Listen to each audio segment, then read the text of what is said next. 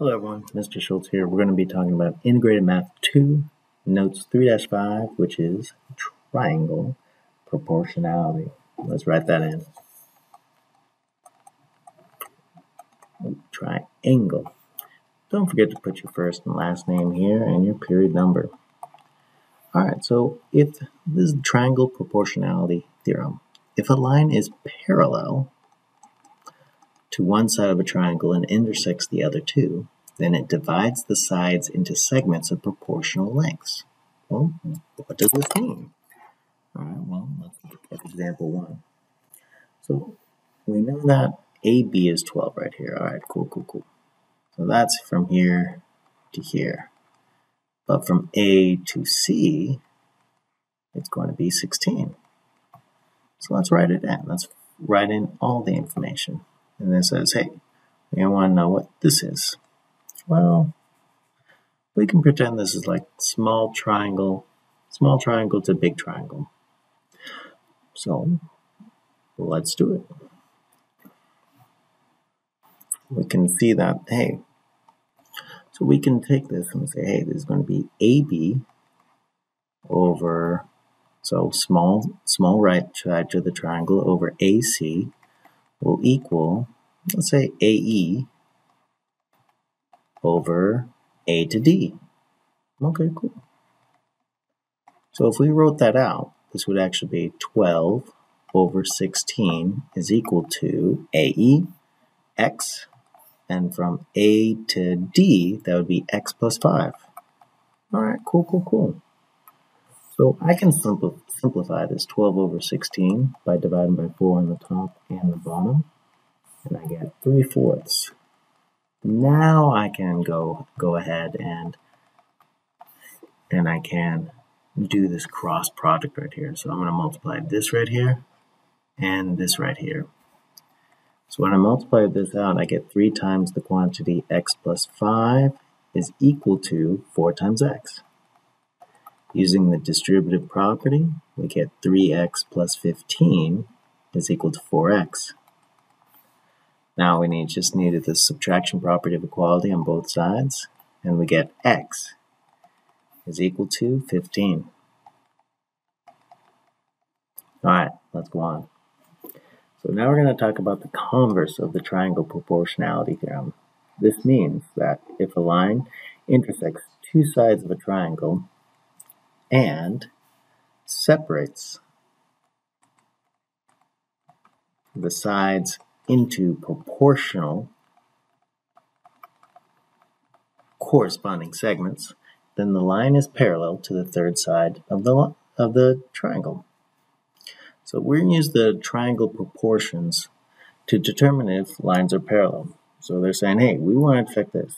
Is NR parallel to PQ? All right, well, we can pretty much say, hey, this is going to be Pn is going to be over Nm. And we can make that equal to Qr is going to be over Rm. So now we get we have a couple different things. It says, hey, look, this PM is we can say this label this as X, and it says this P this uh, PM is 4PN. So if the whole thing is 4X and this little part is X, then this has to be 3X's for mn. So I can write this in. I can, I'm, it's, we're comparing things with saying, hey, comparing to this one side. So we can write this out is equal to QR.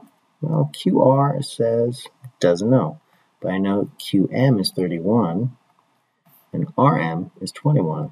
So that means QR should be 10. All right, well, if I divide this out, I get 1 third is equal to 10 over 21. Does this fraction, is this a proportional equation right here?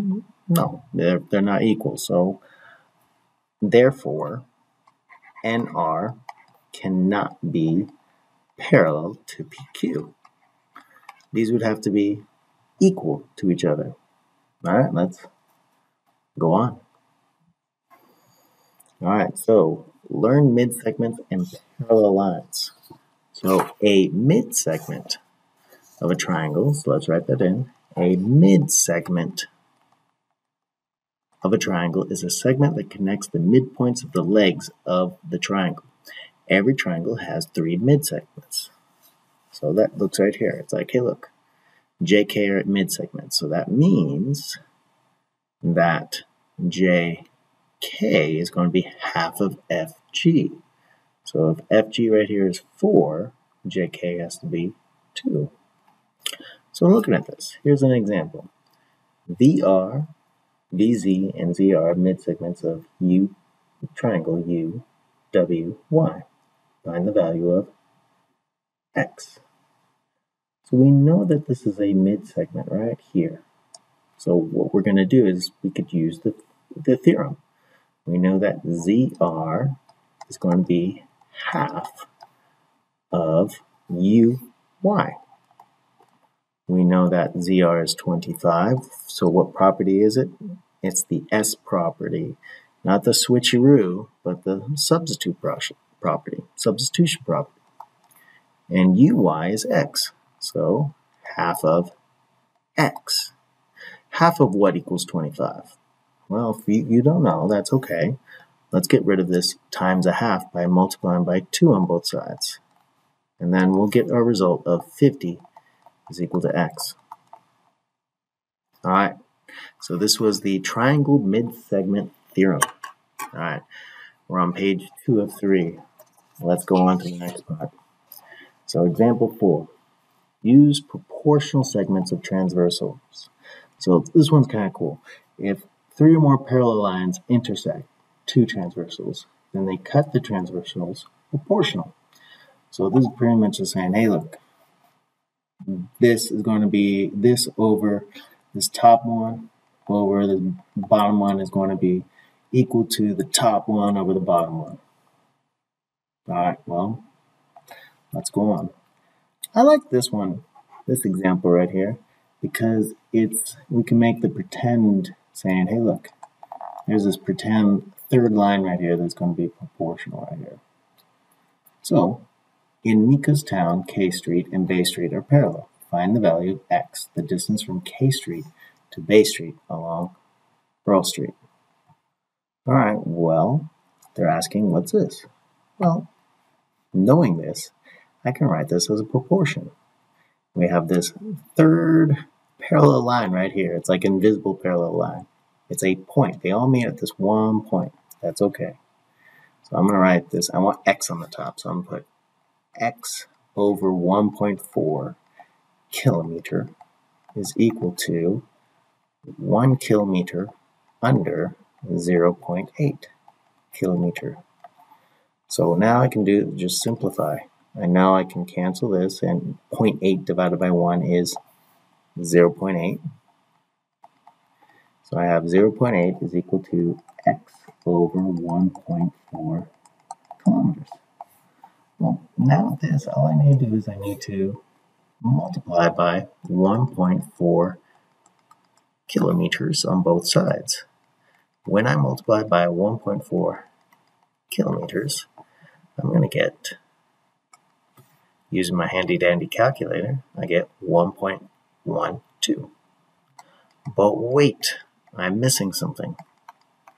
I wasn't multiplied by 1.4, I was multiplied by 1.4 kilometers. So I'm going to write cam. So Earl Street right there is going to be 1.12 kilometers, kilometers. All right, guys. We have our last page coming up. Let's go on. So example five, use congruent segments of transversals. This is our very last one. Basically what it's saying is, hey, if B and C, like AB to BC is congruent, they're saying, hey, this EF to FG is going to be congruent as well. This is like the proportion thing, but it's going to be a scale factor of 1. So basically it says, hey, find the values of x and y.